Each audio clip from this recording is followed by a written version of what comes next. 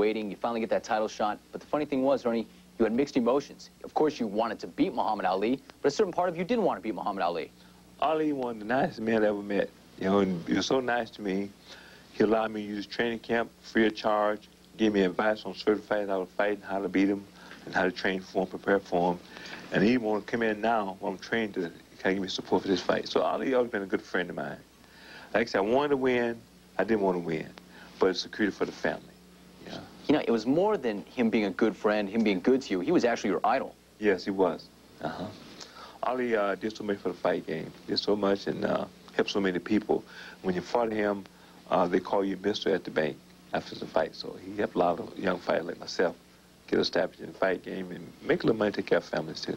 You really think, Earnie, I mean, you don't want to beat a guy you worship, but like you said, you were doing it for your family, yeah. and you had something to prove. This was yeah. a decade in the waiting. I mean, can you really say that you didn't want to win that fight? Well, I had mixed emotion. I did, but I wanted to win. I didn't want to win because Ali was like say my idol.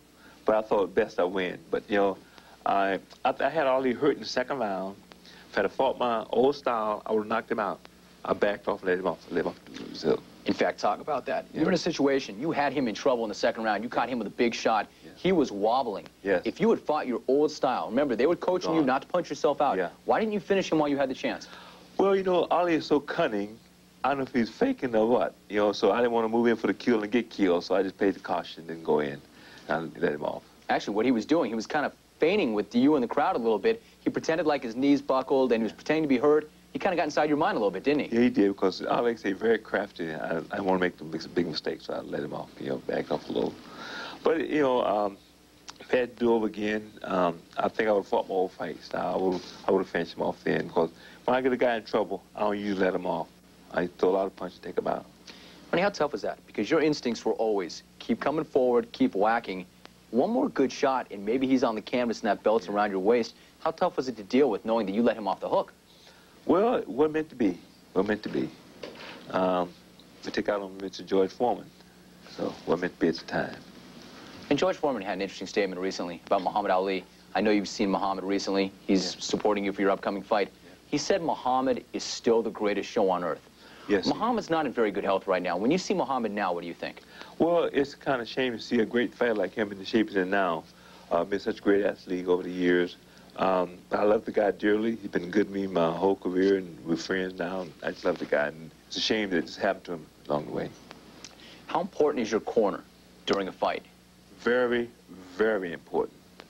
Uh, for that fight, uh, my corner uh, didn't have the experience it should have had in the corner for the title fight, and it hurt me, uh, you know, dramatically because I had experience in the corner. You know, the, the historic thing about that fight, it's the only fight they've ever done this. On NBC television, they were doing the scores, yeah. the official scores after every round. Yeah. Why didn't somebody from your corner go find out how you were doing? Well, they didn't know. See, the experience, they were concerned more concerned about me than what. So they, no experience, see, made a big difference. Yeah, because the uh, story was they thought that you were doing all right in the later rounds. You needed a big finish, yeah. but you didn't know that because they didn't know the score. Right. Uh-huh. Fast when watching the score, maybe would have told me I came on a little stronger in the end there. You think that if you knew that you needed a knockout, you could have got that knockout? I, I probably could have. Uh, I have in the 14th round, I heard Ali again. The 14th round, I had him hurt again. I probably would have finished him off. I think I could have finished him off. All right, now that was a title shot against Muhammad Ali. You got a second chance yeah. against Larry Holmes. When we come back, we'll talk about that. Earnie Shavers fought all the great fighters of his era. He's back in the ring. He's fighting again in June. Take a time out. When we come back, more with Earnie Shavers. Sports match getting ready for a comeback fight. Earnie, we were talking before the break about the fight with Muhammad Ali in 1977. Second round, you had him wobbled. It ended up going a full 15 rounds. Did you get anything in defeat? Was there a moral victory in going 15 rounds with Muhammad Ali? Oh, yes. First time I went 15 rounds, uh, you know, they had out I couldn't go 10 or couldn't go 12 or what. I went 15. It, it helped me quite tremendously, mentally, anything else. So then you moved ahead. You took a shot at Larry Holmes in 1978. Yeah. We see Larry Holmes. He's still fighting. He's a very crafty guy, kind of a clever fighter.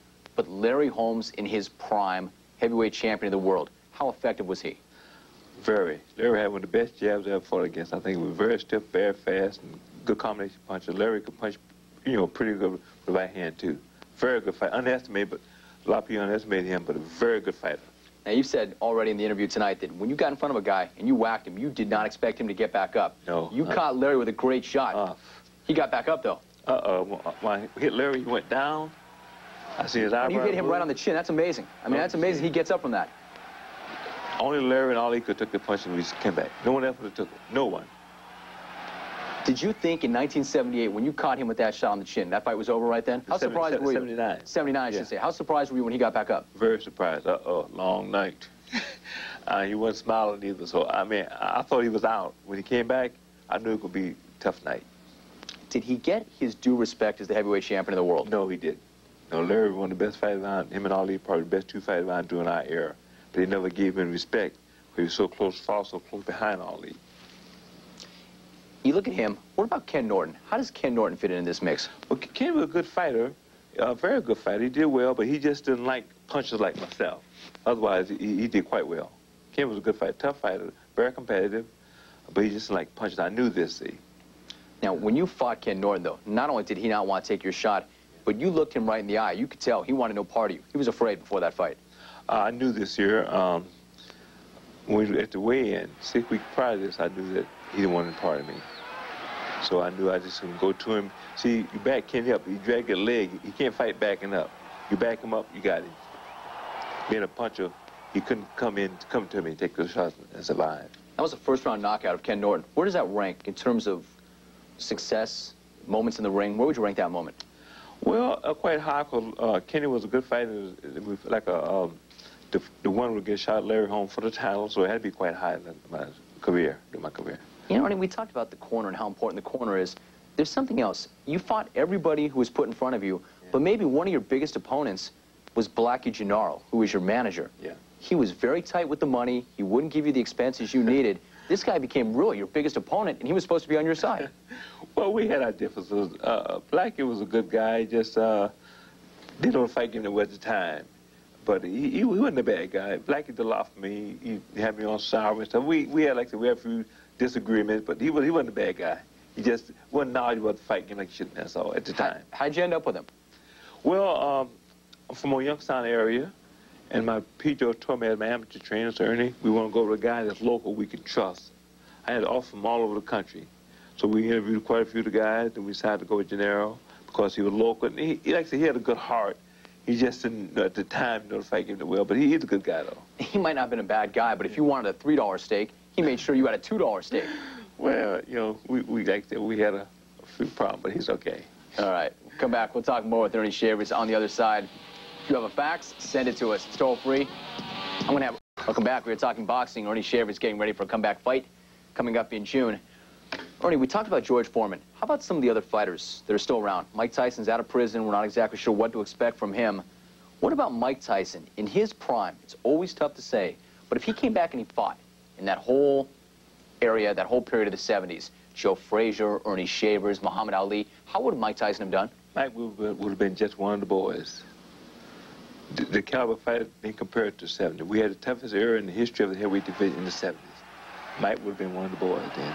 So you think, well, Mike Tyson was absolutely going through guys, 91 seconds, Michael Spinks, he whacked out everybody put in front of him. You don't think he would have been exceptional in the 70s? No, no, no. Too many tough guys then. Too many tough guys. You fought Muhammad Ali in his prime. How would Muhammad have done against Mike? He would have beat him. Too fast. He would have beat him. Yeah, uh, in his prime, I can see him beating Ali. Mike Tyson, no one else. And when you said Roy Williams was the toughest guy you ever fought, but was there a better fighter than Muhammad Ali in his prime? Oh, no, Ali would have beat him, but Roy just tough. Ali was a very crafty, crafty fighter. You know, he knew the fight game very well. Roy just a tough, hard-nosed guy. I mean, good combination puncher when he come to fight. And uh, it was, every night would be a long night with Roy. Muhammad, though, was so gifted physically. What about the games? Like you said, during your fight with him, he kind of tricked you a little bit. What would he say to you during a fight? How would he get into your mind? Well, he tried to get my mind. Uh, Earnie, throw some punches. The crowd watching you. I said, what? You too. You throw some. But I, I knew him very well. We were friends before, three or four years before. We became very good friends.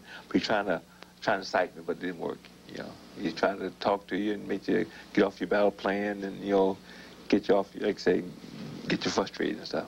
George Foreman has a belt right now. Bruce Seldon has a belt right now. Oliver McCall has a belt. Riddick Bowe has a belt. Mike Tyson's coming back. Who's the best fighter in the heavyweight division today? Well, you know, there's so many good guys around. Mike one of the top guys, you know, and there's Tim Troy, Tim pulled him on Piper. He one of the guys, good good left hand like Ali. I mean, the guy got uh, good moves, good left hand. See, Tim comes and beat him all because he, he's a good boxer. Be in shape. And to beat Matt, you got to be a puncher or a boxer. And you be a puncher, you got to punch him, and the boxer, I move him, that's all. What about Riddick Bowe? Riddick Bowe, I don't watch the fight game that closely, though. Riddick, I think a boxer beat him, too.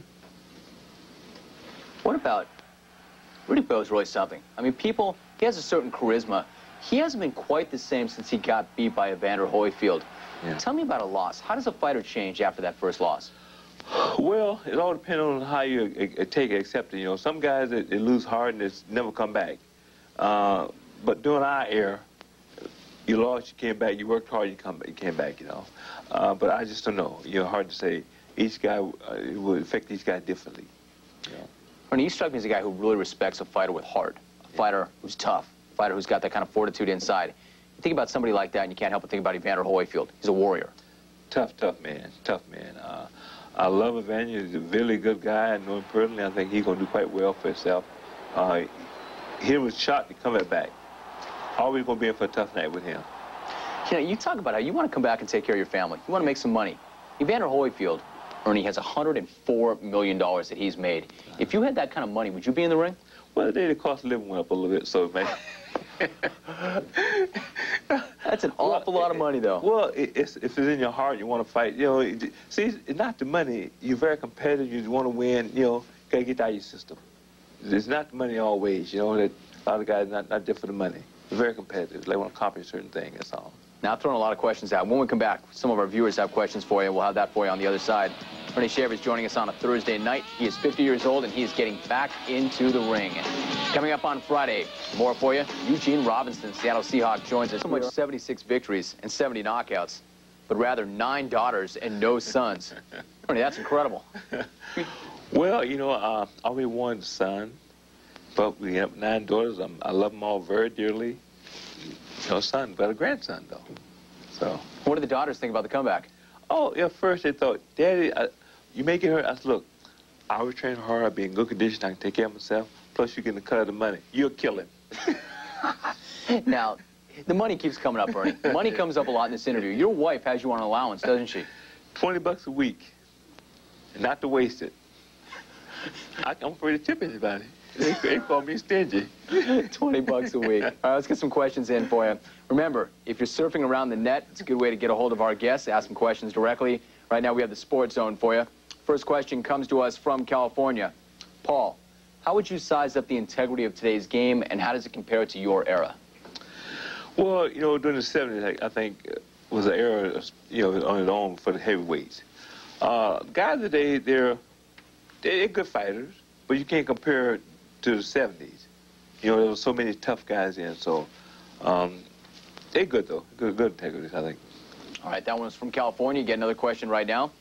From Atlanta, Calvin, who is the greatest fighter you ever faced? Who do you think is the greatest fighter of all time? Uh, Ali and Ali. Both of them. He's a great fighter of fought. I think uh, for the heavyweight, Ali. His, his size and he moves like a lightweight. And Ali, I think, he would have beat Joe Louis and any other guys, I think. Honey, you really want George, don't you? I love to have George. Love to have George. Give me just two hour notice. Been waiting for the guys since 1969. Love to have him. Hope we can put the fight together. George been ducking me. So George, come on out. We know you're there. If you don't fight me, I'll fight one of his sons. So I'm gonna wait around. So best to get over, get over with. Another question from the Sports Zone. This one's from Houston. Nick, are the current batch of heavyweights as bad as they appear to be? How would they measure up to the fighters of your era? Well, you know, the heavyweights, they, they, they, you, any fighter can get in the ring is a good fighter. I mean, you can't take a lot of nerve to get in the ring. But like I said, during the 70s, we had a good era, a good era. A lot of good fighters today, too, so I can't say they're all bad fighters. But during the 70s, they said it was the best era for the heavyweight. So, you know. 50 years old, nine daughters, and a $20 a week allowance, and he's back in the ring. Got to fight. Earnie, George good, in trouble. Good, luck. George is in trouble. Good luck with everything. Take care, stay healthy, and we'll see you real soon. Thank you, Jim. Thank All you. All right, Earnie, good seeing you. Earnie Shavers's back in the ring in June. Definitely look forward to that.